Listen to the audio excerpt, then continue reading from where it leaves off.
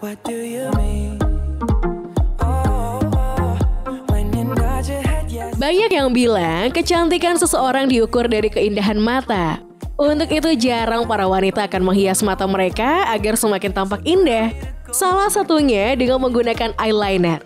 Keindahan mata akan terbingkai dalam goresan eyeliner yang mengelilinginya. Buat fashion holic yang ingin tampil beda dengan wing eyeliner, Lizzie Bara akan kasih tutorial pengaplikasiannya. So let's see.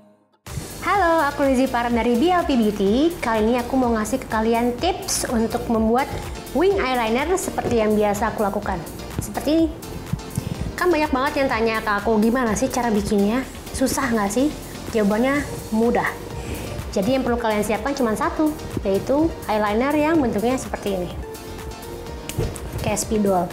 Jadi dengan eyeliner seperti spidol ini pasti akan mempermudah kalian untuk membuat garis tipis yang clean, yang bersih dibandingkan dengan eyeliner yang lain. Jadi kalian harus siapkan pertama eyeliner yang bentuknya seperti spidol.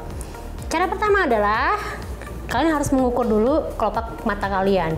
Biasanya aku suka lakukan dengan membuat draft.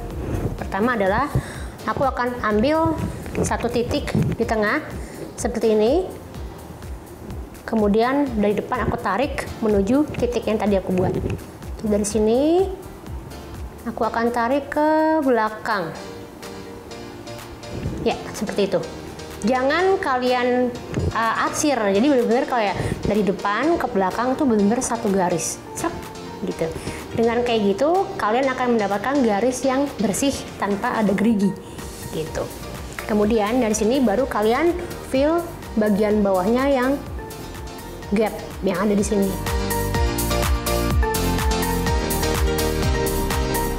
Nah, sebenarnya sih kalian bisa berhenti sampai di sini, tapi kalau kalian mau bikin wing, ada satu step lagi yang perlu kalian tambahkan, yaitu bagian buntutnya.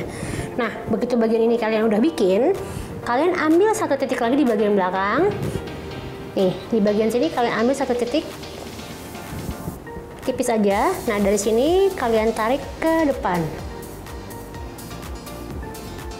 Jadi bagian ini adalah bagian buntutnya. Kalau udah, baru bagian bawahnya kalian tutup.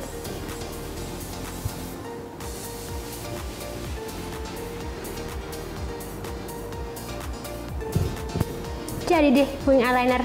Simple banget kan? Intinya itu, satu garis, jangan diarsir, dan gunakan eyeliner yang bentuknya seperti spidol kayak gini. Ya, so, itu aja. Kalau kalian merasa terbantu, jangan lupa untuk senyum, karena sekarang kalian udah bisa bikin eyeliner lagi. So, thank you for watching, and sampai jumpa di tips berikutnya. Bye! Bagaimana? Mudah bukan? Selamat mencoba di rumah ya Fashion Holic.